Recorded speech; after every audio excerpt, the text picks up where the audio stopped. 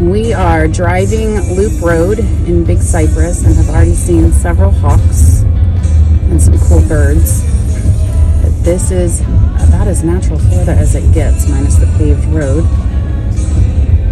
That paved road shortly stopped after this filming and turned into dirt and mud and rock and holes for about 15 miles.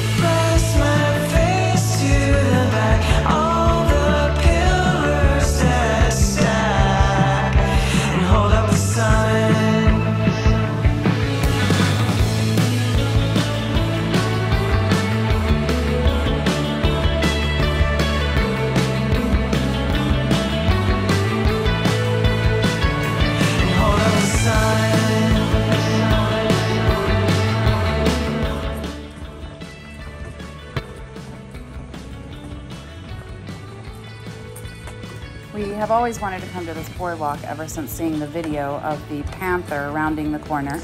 And then last week, a webcam caught a mama bear and her baby cubs. But we got here a little too late. It was hot and muggy and buggy, but we still had a great time and we will definitely do it again. So we are in the Fakahatchee Strand State Preserve on the boardwalk. And we're just keeping our eyes open for birds.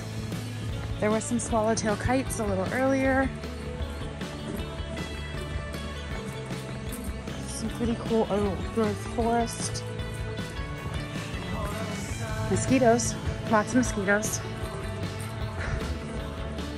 Okay, here's the kids. They're surviving so far.